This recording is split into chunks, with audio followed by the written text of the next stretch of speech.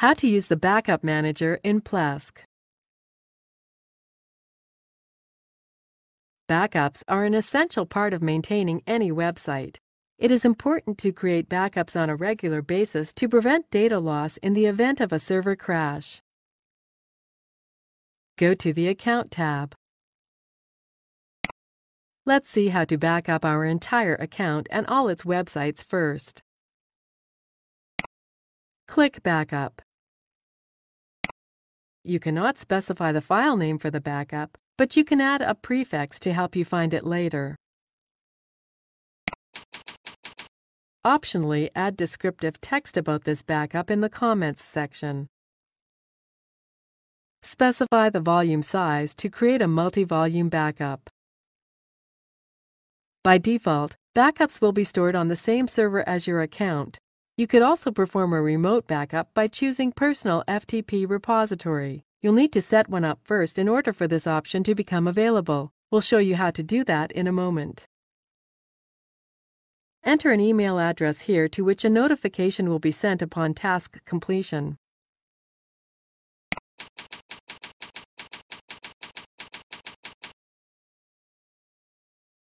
Choose whether to back up just the configuration or both configuration and content. Click Backup. Depending on the amount of data you have, this can take some time. While we wait, let's see how to create scheduled backups.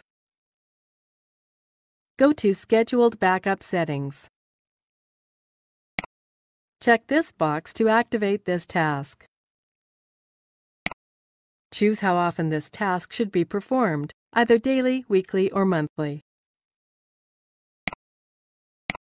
Set the time and day of the week when this task should begin.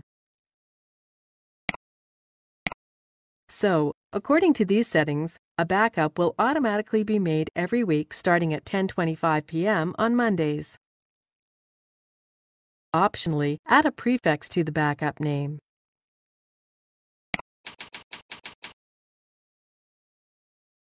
Click OK.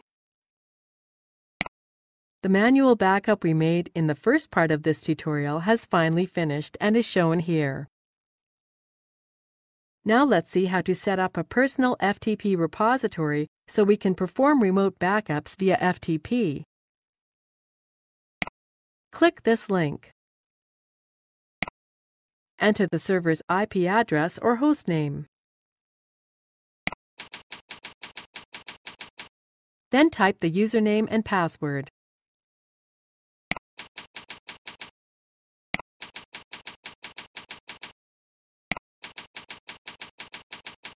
Click OK. Now that we know how to create backups, let's learn how to restore them. Choose the backup file that should be restored. Select the type of data to restore.